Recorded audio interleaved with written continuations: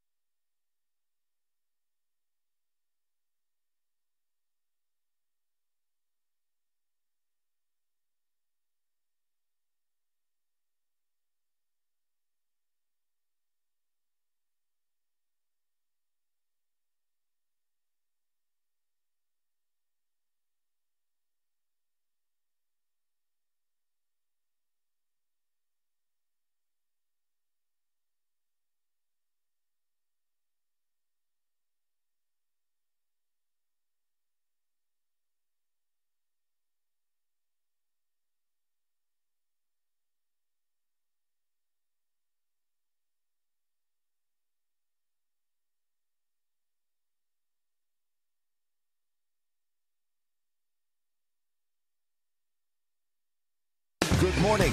From Fox 5 News, this is Good Day Atlanta at 9 a.m. Good morning and welcome to Good Day Atlanta at 9 o'clock. I'm Constance Jones in for Alyse Eady. Well, living in the country may be quieter than living in the city, right? But a new study shows that rural life may not be good for your health. The Fox Medical team's Beth Galvin will join us to talk about what researchers found out.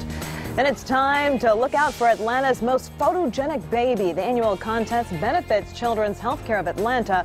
Find out how you can enter your little one and make sure that you have a great photo shoot. Plus, we're on a hunt for hidden treasures this morning. Antiques expert Paul Brown is here to tell us about uh, your valuable heirlooms. He's live with us in studio. But we begin with breaking news this morning in DeKalb County, where police are on the scene of where two people have been shot. Good day's Marc Teichner is on the scene with the very latest. Well, good morning, Constance. We are at the North Gate Townhouse community located on Lawrenceville Highway, about a mile and a half outside the perimeter. And what has transpired has taken place inside uh, Unit 3 here at this townhouse community. That is where we've been told uh, two people have been shot. One of them is dead at the scene. Uh, the deceased is an adult male, and police say he appears to have been uh, the person who pulled the trigger. They think that his um, wounds are self-inflicted. They also are telling us that he uh, allegedly shot a woman uh, here. She was shot in the face. Now that woman is expected to survive. Obviously, that is good news. Uh, still trying to piece together exactly what led up uh, to this double shooting, but uh, investigators are looking at this as being uh, domestic related. at this point, they don't know again what caused the possible domestic squabble that obviously spiraled out of control. But we're working to get some more information. We're expecting an update from police uh, in the next couple of minutes or so. When we get that, we'll be able to pass along some more information. But right now, we've got one man dead. We've got a woman uh, who is in the hospital, expected to survive, having been shot in the face in this double shooting that appears to be domestic related.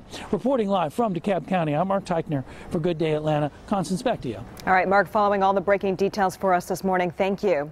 All right, let's get more of the morning's top stories. Good Day's Buck Lanford is standing by with that. Good morning, Buck. Good morning to you, Constance. New this morning, two people are dead after a shooting last night at a bar in Warner Robins. It happened at Just One More. It's on Russell Parkway. Police believe the gunfire started as part of a fight. Two men in their mid-20s were shot and killed. Their names have not been released, and so far no arrests have been made in the case.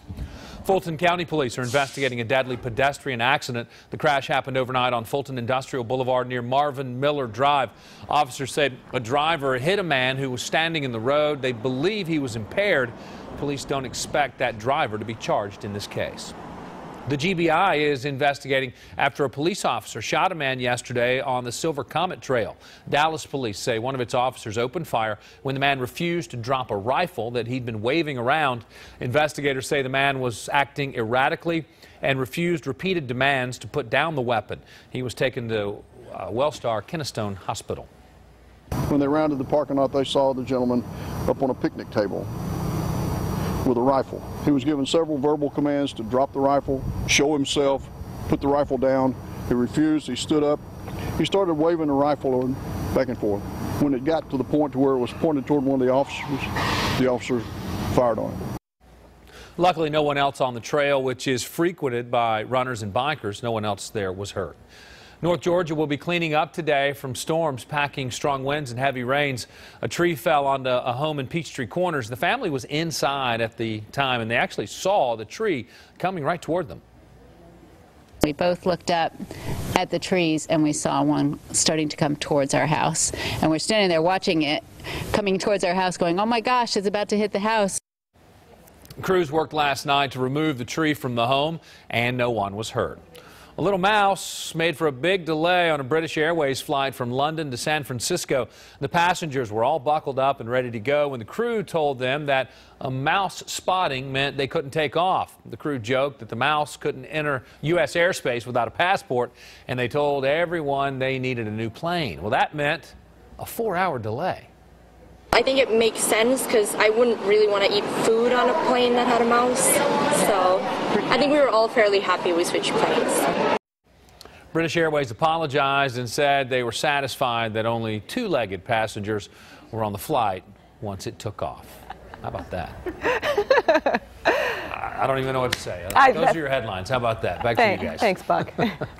yeah, if I saw a mouse, I might go running too. I don't know. Yeah, a little right. bit. Joined by Joanne Feldman to talk about our changing weather. And it is cold out there after those storms came through. I know. Yesterday morning we were enjoying 60s, got up to 80 in the afternoon. That is well behind uh, us right. now. And this time around it's going to stick around a little longer. I mean, mm -hmm. we've mm-hmm. had brushes with cold air, obviously, this winter, but this one will last a few more days. All right, so settle in. Here we go. This is a look at the satellite radar picture. Cold front came through late yesterday. The storms associated with that are long gone. Some of you got some big rainfall totals, but it, it blasted through the Atlanta area so fast that the official rainfall total at the airport was only 16 hundredths of an inch of rain. Lots of hail reports, wind reports. Now the skies are clear, and we're looking back to the northwest where there is plenty of quiet weather to be seen. That's going to be a good indication of what we'll get here for several more days. But the temperatures, this is the big story here, how much these numbers have fallen since 24 hours ago. We are down about 21 to 24 degrees in most spots, and that's still leaving a lot of us in these chilly 40s for a few more hours. It's going to take some time to even crack 50 degrees, and then by this afternoon, most of us never get beyond the 50s, which is a touch below the normal high for March 2nd of 61. With this, it's breezy. It has been in Atlanta for a few hours now. It'll get breezy pretty much everywhere for the afternoon. These are the winds out of the northwest at about 15 miles per hour today. When the sun goes down, though, the winds will get lighter, and they're not going to pick up again tomorrow until the next cold front comes through Friday morning.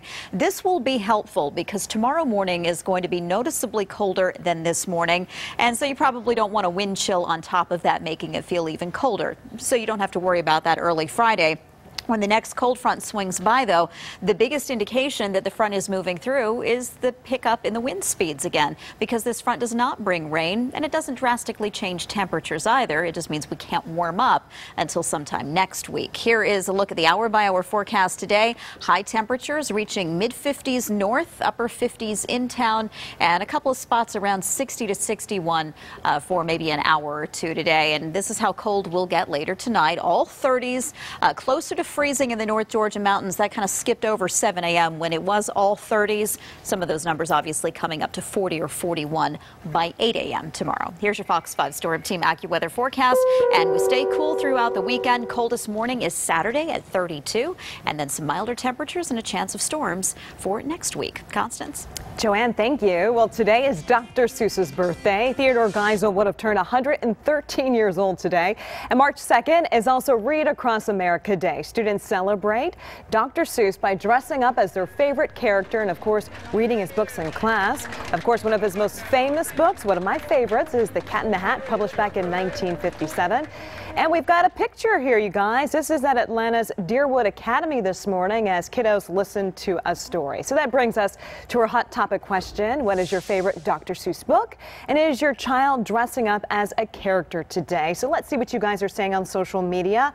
Lauren says, my son's favorite Dr. Seuss books are Hop on Pop and There's a Wocket in My Pocket. He's only one, but those are the ones that keeps his attention. We read them over and over. All right, Melissa says, says, My all time favorite is If I Ran the Circus. It's such a tongue twister. The faster I could read it, the more my children laughed. And then finally, we have a comment here from Dolores. She says, Being the cat lover that I am, no doubt about it, it must be, it has to be the cat in the hat. All right, tell us what you think, you guys. Go to our Fox 5 Atlanta Facebook page or tweet us at Good Day Atlanta. Our time now is 9.08 this morning, and coming up on Good Day, we'll see if our antiques expert, Paul Brown, has discovered any hidden treasure from those viewer submissions.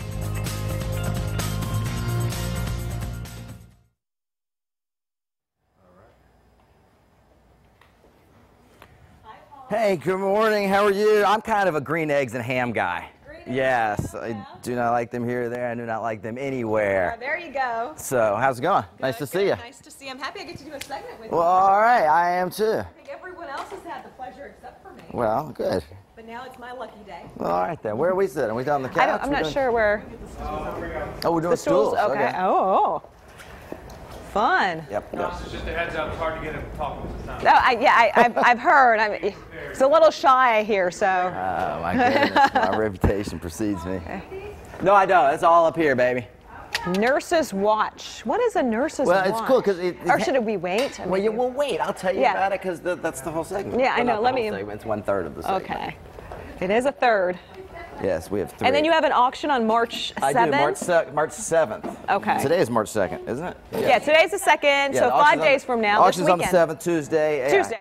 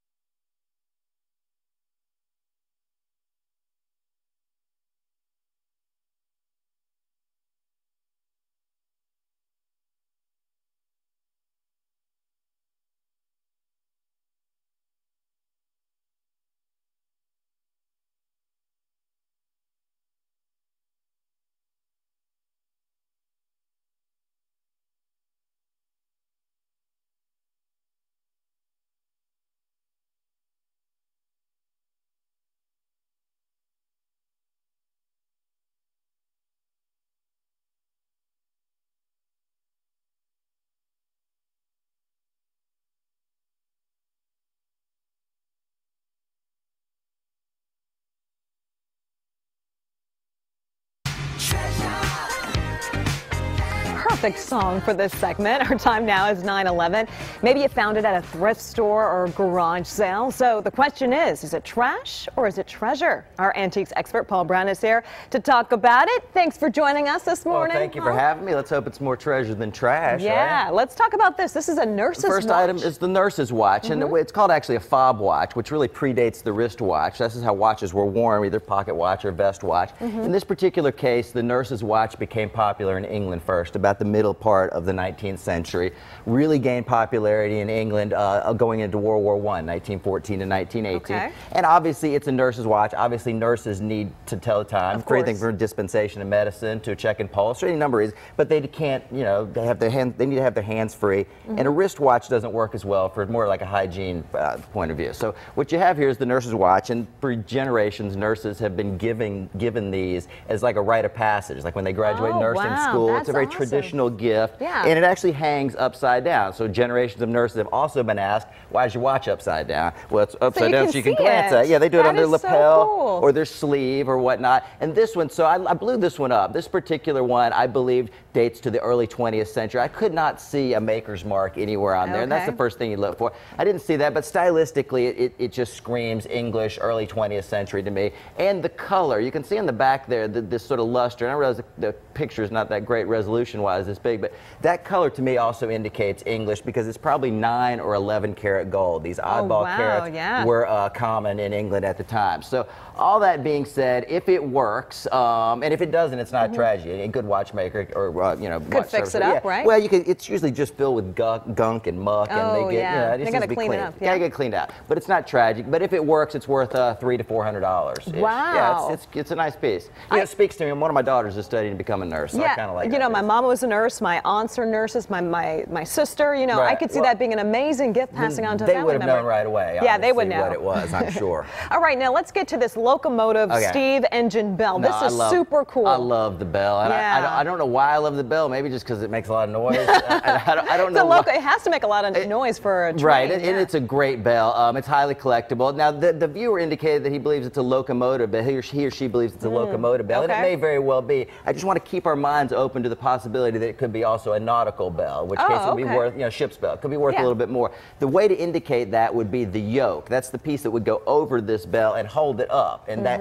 a nautical yoke is different from a locomotive Mm-hmm. course, yoke. depending on how it's gonna Uh, be And I don't know if they have. You know, the, the, the bell has to have three things to work. Yeah. Obviously, you have to have, you know, the bell. Yeah. Uh, and you have to have this thing here to the left, the ringer, obviously. Ding. But you also have to have the thing that hangs it. or In- else- in 'cause the- yeah. Yes, it's heavy. not. You know, I mean, it's not. It's not going to ring yeah, it's got a little the dolly floor. there. Looks like they're getting Yes. around with it. Yeah. Yeah, and so um, what's what, what I would encourage the viewer to do is that on the ringer there, it should be stamped uh, Graham White Salem, Okay. which is a company. I say is a company. They are still in business in Salem, Virginia, and they still manufacture uh, locomotive stuff. They make you Oh, know wow. subways, big trains, but they've been doing selling uh, uh, locomotive pieces um, for 150 years, and Mm-hmm. they were sort of known as the industry standard. This was like this is a, a quality bell. It's, Okay. it's probably 125 years old, but somewhere on this ringer, I believe, is stamped. There'll be a stamp, and that'll Okay. better indi- indicate. Well, that'll that'll help us evaluate it. So so um, you know, as it sits, just just like this, Yeah. as it sits, it's probably worth 800 to 1,000 dollars. But no, Oh. wait, wait. Oh. If, if, if, the yoke tells us it's from from a ship, Yeah. or if it has the yoke in general, whether it's for a train or a ship,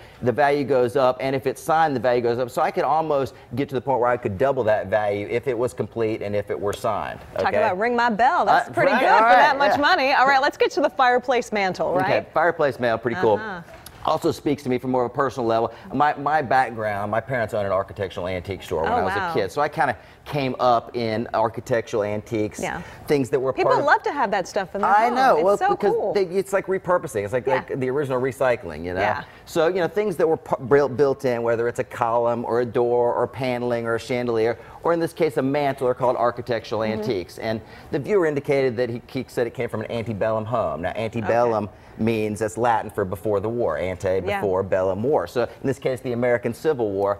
And looking at it, to me, I, I think that's pretty accurate. I, I would date it to that period as well. so is it painted or is that just the wood? No, it's kind of no, to tell that's the actually picture. the wood. It's oh, it's it's stained a, kind of a mahogany color. Well, Yeah. I'm going to get to that in a second because that's kind of important. But you can date you can date it based on these pilasters here and the dental molding on the shelf, but primarily this wonderful carved swirling Yeah, oak leaf gorgeous. pattern.